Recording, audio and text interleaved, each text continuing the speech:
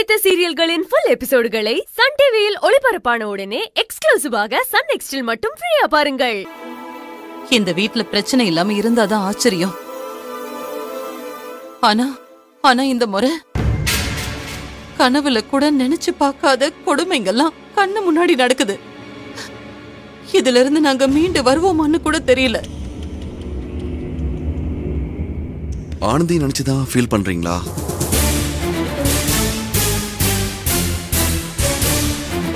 ஐயோ கடவுளே பிரபு ஆனந்தி கொன்னது எழில் தம்பிக்கு தெரிஞ்சிருக்குமா?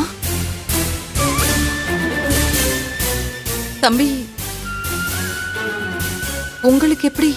அது கையில் தான் ஆண்டி சொன்னான். நீட் எக்ஸாம் சரியா எழுதாததுனால ஆனந்தி சூசைட் பண்ணிக்க ட்ரை பண்ணான்னு சொல்லி ரொம்ப வருத்தப்பட்டா. ஆண்டி அவளால டாக்டர் ஆக முடியாம போயிடுமென்ற விரக்தியில தான் ஆனந்தி தப்பான ஒரு முடிவுக்கு போயிருக்கா? ஆண்டி நீங்க ஆனந்தி நினைச்சு கவலைப்படாதீங்க. இந்த குடும்பத்துக்கு பக்கபலமா கையல் இருக்கா? அவ எல்லாரையும் பார்த்துப்பா. அதுதான் தம்பி என்னோட கவலையே. எங்களை பத்தியே யோசிச்சு யோசிச்சு. அவளுக்குன்னு ஒரு வாழ்க்கை இருக்கிறத. கையல் மறந்துட்டா. இந்த குடும்பத்துக்கு என்ன சாபமோ தெரியல.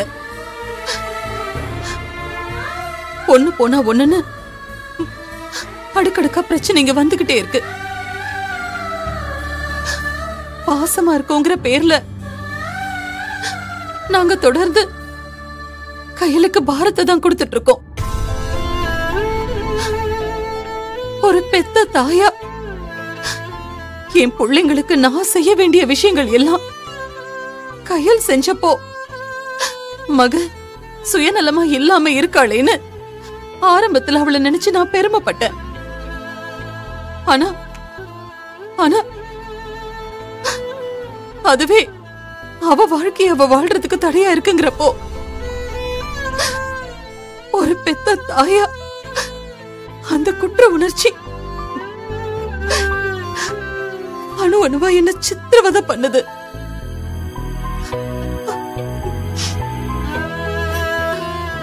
பத்து இடத்துல பத்து பாத்திரம் தேய்ச்சாவது என் பிள்ளைங்களை நான் காப்பாத்தி இருந்தா இன்னைக்கு அவளும் புருஷன் குழந்தைன்னு சந்தோஷமா வாழ்ந்திருப்பா.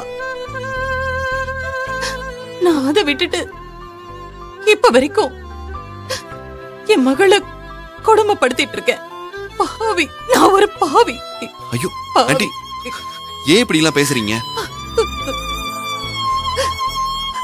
மனசு ரணமா இருக்கு தம்பி. இந்த குடும்பத்துக்கு என்ன சாபம்னே தெரியல. நம்ம எல்லாரையும் தாங்குற பூமாதேவியா இருந்தா கூட ஓரளவுக்கு தான் சகிச்சுக்குவா. ஆனா என்னோட மக கையல் இந்த பாவி வயத்துல பெத்த பிள்ளைங்களுக்காக அடுக்கடுக்கா சோதனைங்க வந்தப்பவும் அவங்களுக்காகவே நிக்கிறா. காலம் முழுக்க இவங்க பண்ற தப்ப சரி செய்யறதுக்கே அவ அவளுக்கான வாழ்க்கைய வாழாமலே போயிடுவாளோங்கிற பயம் எனக்கு நாளுக்கு நாள் அதிகமாகிட்டே போகுது தம்பி. எங்களால அவ அனுபவிச்ச நரக வேதனை எல்லாம் போதும். இனிமையாவது அவ சந்தோஷமா வாழ்றத நான் பார்க்கணும். அப்பதான் நான் செத்தா கூட என்னோட ஆத்மா நிம்மதியாகும். எங்களுக்கு வர பிரச்சனைகளை அவ பாத்துக்குவானா? அவ காலம் போறா எங்களையே தான்ப்பா பாத்துக்கிட்டு இருக்கணும். ஏன்னா அந்த கடவுள் எங்க எல்லாரோட தலையிலையும் கஷ்டங்களையும் போராட்டங்களையும் மட்டுமே தான் தலையெழுத்தா நிரப்பியிருக்கான் ஆண்டி. நீங்க எதனால மனசுடைஞ்சு பேசுறீங்கன்னு எனக்கு தெரியல. ஒவ்வொரு பொண்ணுக்குமே அவங்க அம்மா தான் உலகம். பிறந்த வீட்டுக்கு உதவியா இருக்க முடியலன்னு அழுகிற பொண்ணுங்க மத்தியில எனக்கு அந்த குடுப்பனை கிடைச்சிருக்கு எழில்னு அடிக்கடி மனநிறைவோட கையில் சொல்லுவா ஆண்டி. அவ வாழ்றதே உங்களுக்காக தான். உங்களை பத்தி யோசிக்காம வேற யாரை பத்தி யோசிப்பா? சொல்லுங்க. அவ எப்பதான் தம்பி? அவளுக்காக வாழ்வா? காலம் போனா திரும்ப கிடைக்குமா? அவ வாழ்க்கை இப்படியே போச்சுன்னா அவளுக்குன்னு ஒரு தொன்னு சொல்லிக்க அவளுக்குன்னு யாருமே இருக்க மாட்டாங்க. திரும்பி பார்த்தா அவளோட வாழ்க்கைய தொலைச்சிட்டு அம்பு ஒண்ணுதான் நிப்பா.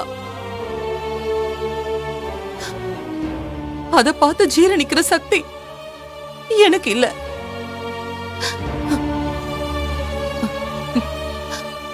போதும். அவளுக்கு எங்களால வந்த எல்லா பிரச்சனையும் போதும். இனிமேலாவது உங்க மனைவியாவ நிம்மதியா வாழணும்.